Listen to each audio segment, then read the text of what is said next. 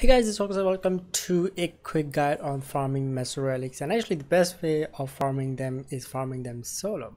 Now what you need for this farm is a DPS Banshee built for some strength and range along with the resonating Quake augment. Now my, now my build you can see here on the screen. Another thing you need is the Zenurik school with energizing dash to help you with the energy and just any weapon to quickly take out the leftover enemies. So after your setup you may want to head over to the Jupiter IO defense mission.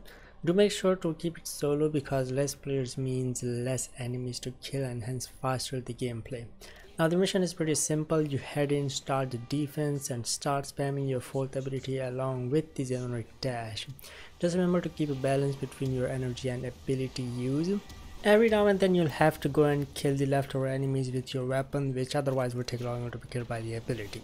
Now, every 5 waves you are guaranteed a Meso Relic having a 14.29% chance each up until 10 waves. So what you may want to do is restart the mission every 10 waves and each run takes around 4 to 5 minutes means you're getting 2 Meso Relics every run. Now I've done a couple hours of runs and recorded so I'll show the average run time on the screen. I'll show you the individual timings of the runs. So that's pretty much it for the video. Hope you enjoyed it hope you find it helpful you enjoyed it and let me know if you want to see more videos and as always see you in the next one. Bye bye